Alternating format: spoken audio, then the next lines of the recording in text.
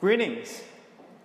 My name is Ha, COO and co-founder of Mushroom. Today, I'm here to talk about problems in art market and solution to address it. As a filmmaker and an art major student, I have always found it difficult to discover art pieces that suits my style and budget. Therefore, as an art collector, it is important for me to look for a solution. By the way, artists face this problem too, especially independent artists. There are thousands of artists who find it extremely difficult to monetize their artworks and would welcome a platform or marketplace that can showcase their arts. If you look at music industry, they have already created solution where independent musicians' work is curated for their listeners. Why not do the same for independent artists? The art market is ready for disruption. Critics and curators and art dealers the so-called value drivers have been manipulating the art market. So my team and I have been trying to solve this problem. And ladies and gentlemen, let me introduce Mushroom.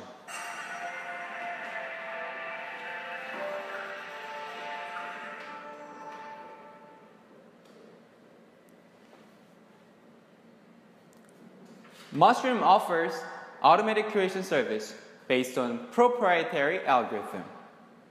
The process is quite simple.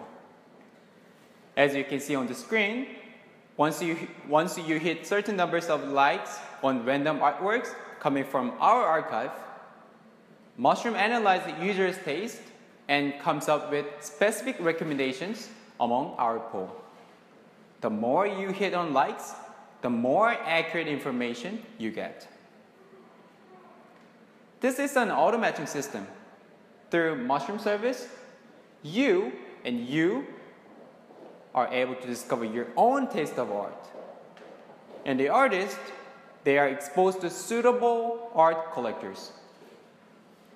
Our, art, our market focus is on independent artists and fine art. Independent artists, they are 50 times greater than mainstream artists. We also address other issues facing the space. Insurance and logistics, they are some weak links which we're going to solve.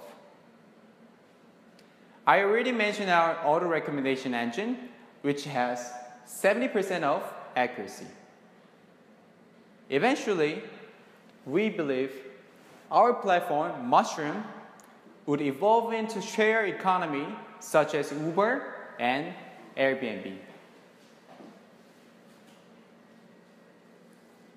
According to Art Economics, the online art business was approximately $3.1 billion last year, and it is expected to grow almost 25% year over year through 2020. Now you may be thinking of companies such as Paddle8, Artsy, Amazon Art, Christie's, and Sotheby's.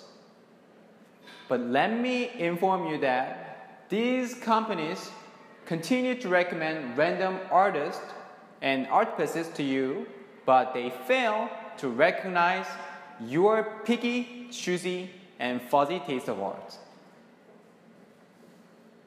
Then let me go on how we earn money.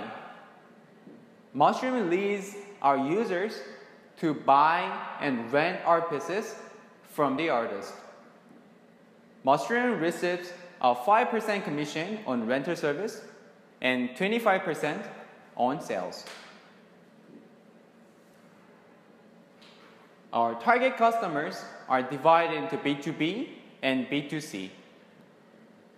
Buildings, realtors, cafes, film and TV productions, and concept stores. On the other hand, there are art collectors, housewives, and publics. Mushroom service will be released in December. First, please keep your eye on it. Thank you very much.